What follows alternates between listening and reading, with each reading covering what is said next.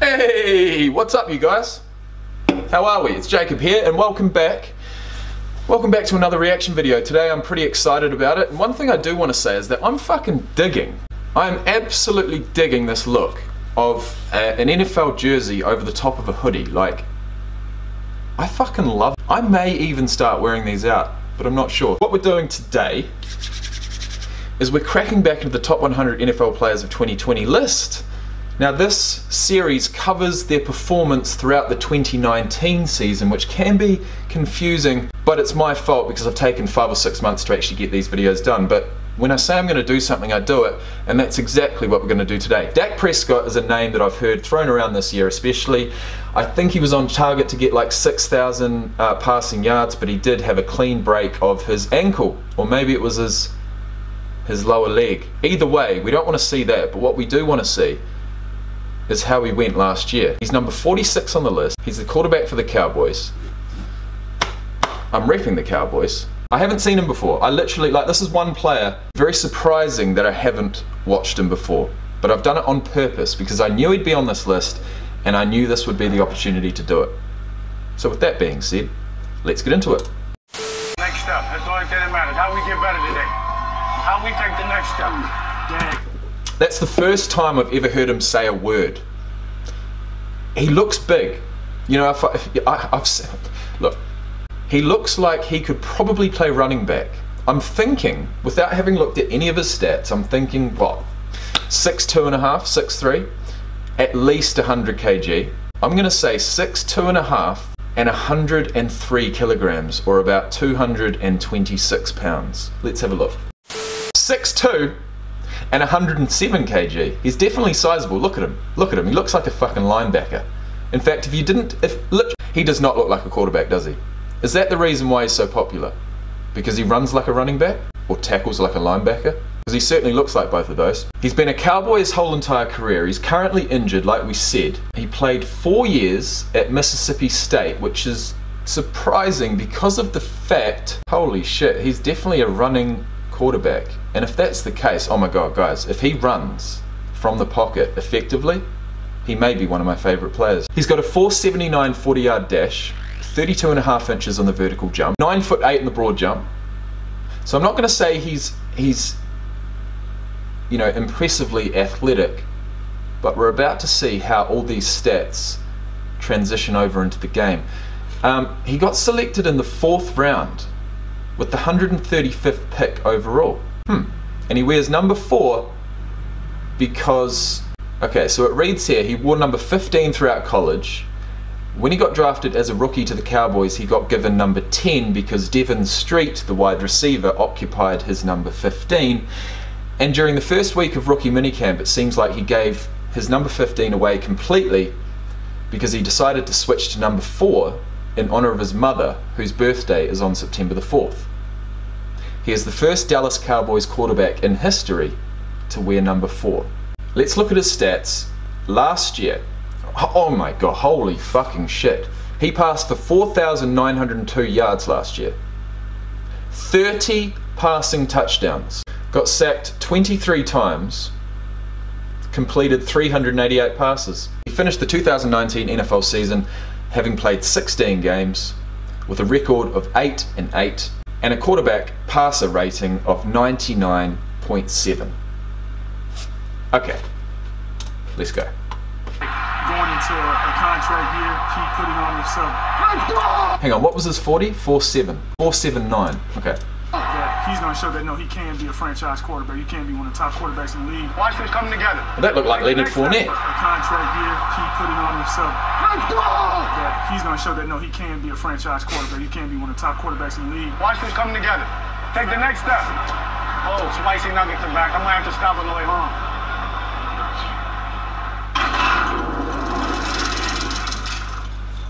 Dak Prescott. Spicy nuggets are back, and so is Dak Prescott on the top 100. I just gave you chills. Look. 5,000 passing He was on yards. the countdown at number 14 back in 2017, but it was only for a limited time. He was left off the list the past two years. When you see that list The come fuck? up and there's a hundred guys, when you're not getting it, they like to find. one of the biggest compliments is from a peer. So it's also, I guess you can take that the other way, as if when you're not getting it, should motivate you. It should motivate anybody. Okay, that's really interesting. In some of these videos, we don't hear the actual player talking, but we've heard him now. I like that. The omission sent I'm, I'm not quite sure what I think. He didn't affect me in any particular way. Prescott on a mission. Go, Dak! Let's go, Dak! Run, Dak! Run, Dak! Run! Oh, I like that. There's not many quarterbacks you'll see th- throwing someone into the ground like that. He's a pro. He's our leader. He ran the show. We only stop ourselves. Let's get off our own feet and make something happen. I wouldn't rather follow any, any other person. I wonder, actually, I want to see if he played any other position. Dak was the youngest of Peggy Prescott's three children. As a senior, he was playing quarterback. He also rushed for 951 yards on 90 attempts with 17 touchdowns. So he was a running, rushing, dynamic quarterback. And uh, the number four that he's currently wearing in the NFL was a tribute to his mum, whose birthday was on September the 4th but had colon cancer and died on November the 3rd, 2013. So his career, every time he puts on that, that jersey, uh, he's thinking about his mum. Prescott was redshirted as a true freshman with Mississippi State in 2011. He began as the backup to Russell again in 2013. Okay, so he had a decent, he had a fairly decent college career, but he he certainly didn't come out as any Heisman Trophy, you know, contender or anything like that. It seems. So he's had to work his way up. He's back in the top 100 after two years off.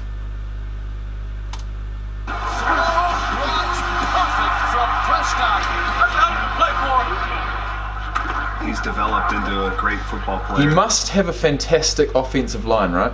this year. Going against him the past four years, you see the development each year and the command he has of the offense. I saw more command of his offense. Hey, you go, hey, you have 55 to 40. Go to 49, boss. Just go to the right. You have 5 that way. 5 you're good. Over 24 plus another, you're good. Fucking hell, holy Just said it. shit, bro. What? Okay, I lost that one. Defense, giving checks to linemen. Hey, Coors over there. Coors Light. Michelob. Michelob, Michelob, hey, Heineken. F, F fight finish. BYB, faith. Heineken. He's right. Fight, F fight finish. Is that what it says? running the show. Wait, 80. Huh? Michelob. Michelob, Michelob, hey, Heineken. Heineken. He's running the show. Wait, 80. Wait, Running the show. Hey, here we go, here we go, let's Utah. We were kind of playing a cat and mouse game. Cause I knew what he was trying to do, but I didn't know exactly how he was gonna do it. Let's go Blizzard right here. Blizzard. Don't move. Don't worry about it. Blizzard. Just, I'm going to give him a couple. So I walked down and he had changed it. Wait, 80. Wait, second. So I walked back. He changed again. Hey, we go, let's go, let's go, uh, let's go, hey, Bahamas, Bahamas, Bahamas. Swing, just swing. 55, LA, We kind of played Jesus Christ, these quarterbacks really need to be onto it, don't they? I mean, they need to be sharp. for a few seconds. Oh, no, let's take it. Piped the ball. He just ran opposite way. And uh, I remember he just winked at me. I was like, yeah, that was a good one. He's definitely becoming one of the best quarterbacks in the league. Close. In year four, number four shattered his previous career highs in passing yards and touchdowns. At first, everybody was telling Dak to prove it, prove it, prove it. He's been proving he can be the QB1 for the Dallas Cowboys. Now, the Cowboys have a massive fan base, don't they? Like, ridiculously huge. Oh no, let's go. Let's go most valuable sporting franchises. And I, I guarantee the Dallas Cowboys got to be up there. They have to be. What do we got here? Oh my god, they're number two on the list. You're kidding. Real Madrid, Dallas Cowboys. Oh no, that's 2015. Um, let's go most valuable sporting the Dallas Cowboys have been the most valuable sports team for the last four years straight. In, in 2016, it was 4 billion, 2017, 4.2 billion, 20, 2018, 4.8 billion, and 2019, 5 billion dollars. 5 billion dollars. Biggest NFL team stadiums. Here we go. Uh, value as of 2017. There we go. Dallas Cowboys, Yankees, United, Barcelona, Madrid, Patriots. So the Dallas Cowboys are the richest sporting franchise in the world. And Dak Prescott is their QB1. Prescott returns to the list at Oh yeah. 46. yeah, he's done that dancing thing. That was a meme, wasn't it? But his pregame stretch routine is clearly number one. Elliott doing his impression of the Prescott hip swivel. Wouldn't rather follow any, any other person in a battle. It's a dance step that's sweeping the nation. I want to get a sack so bad because I want to do, I want to do this. What, the Dak Shuffle? Oh my god, we've got JJ Watt. Look at him. He's six foot eight. Okay. He is a man mountain, and he's number 45 on the list. Guys, that's that's going to be enough for today. I could go deeper on Dak Prescott, uh, but I feel like I feel like that's going to be another video because I want to have a look at his college highlights, then I want to have a look at his NFL highlights, and we've got plenty of time because he is injured right now, right? Yes, yes, he is. So, before I do that, I've got 46 more players to do. I'm sitting here in Queenstown, in New Zealand. The date is the 22nd of December. It's 9:33 in the morning, and it's about time I go to the gym. So that's what I'm going to do. I want to wish you guys a fantastic Christmas, a fantastic New Year. Any Dallas Cowboys fans out there that enjoyed this video, please hit the like button. Any Dak Prescott fans out there that enjoyed this video, please hit the like button. And if you want to stick around for any length of time, please hit that subscribe button. And if you want to know when any of my videos go up, hit that bell button. It's probably going to be the only time I tell you to do that. In fact, I might cut that bit out. Okay guys, that's about enough of that. I've literally done this outro probably about five or six times. I cannot seem to get the words out of my mouth. I don't want to go. I don't, but I have to take a break. It's 9.30 in the morning, I need to get to the gym. And I'll see you in the next one. Peace out guys, have a great day.